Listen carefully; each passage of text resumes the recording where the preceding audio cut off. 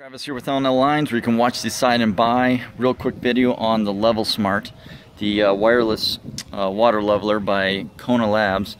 Here's another example uh, for you guys and gals on the service center. You've seen this where the well is installed so low that the water leveler literally needs to be either straight up, um, which obviously is not a good thing, or you have a uh, like a 7 inch brass arm one where you can bend it, shape it, and get it up here where it needs to be uh, or you can do a plumbing elbow fitting but then you kind of start running out of room in here uh, to get the fixture in there.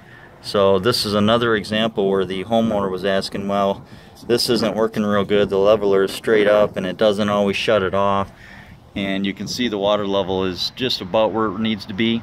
And you've seen them where they're even worse where they're just right at the very bottom and you barely got enough water going into the skimmer. And if you have to backwash at any time it just creates a problem because then the skimmer is running out of water. So these water leveler wells that are installed too low and the water leveler doesn't have enough working room or space to get the level up where it needs to be.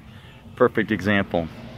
Uh, I told these people here they can either have a new well installed for you know 2,000 to 2,500 after deck work and demolition, or they can put in a uh, um, a LevelSmart by Kona Labs. So Anyway, check the description below for more information. This is Travis with L&L Lines where you can watch, decide, and buy. Check it out. Thank you.